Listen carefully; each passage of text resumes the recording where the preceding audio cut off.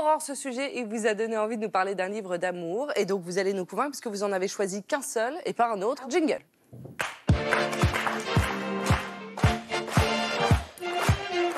Alors, c'est lequel? Et ça a été une découverte. Je l'ai lu pendant les fêtes et je me suis dit, bon sang, mais c'est bien sûr, c'est le livre de l'émission. C'est le livre d'un philosophe, Alain Badiou, et c'est un éloge de l'amour. C'est ça le titre. Je vais vous convaincre de le lire. Oui, on se dit, c'est de la philosophie, c'est compliqué, mais c'est tout petit. Un vrai argument. C'est surtout très lisible. Alain Badiou euh, écrit comme il parle.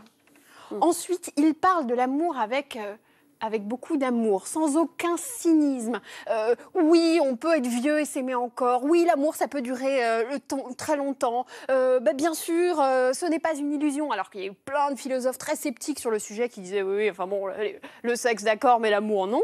Lui, il est formidable sur le sujet. On a, on- moi, je lisais, je me disais, oh, mais il est génial, oh, il est sympa, il- oh, mais comme, comme il est, il est fait du bien, joyeux sur l'amour, et c'est vraiment, ça fait du bien. Et donc, troisième raison par rapport au sujet qu'on Mais vient oui. de- qu'on vient de- d'entendre, eh bien, il parle très joliment de la question du passage de la rencontre amoureuse à l'installation de l'amour. Il dit, dans nos sociétés, il n'y en a que pour la rencontre. Le coup de foudre, les sites de rencontre, il, faut que je rencontre la bonne personne. Mais après, le vide. Et il explique que ce passage de l'un à l'autre se fait à un moment assez précis, un moment verbal, et c'est le moment où on dit, et où on le pense vraiment, je t'aime.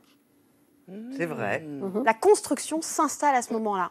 Et donc, ça, il faut le lire absolument. Il faut, c'est beau, enfin C'est vraiment, je, vous le prescris avec euh, tout mon cœur. Bon, très bien. Eh ben, merci pour ce bon moment. Merci pour cette prescription. Merci à Agnès et Christophe de nous avoir fait partager leur love story. Et merci beaucoup, Myriam.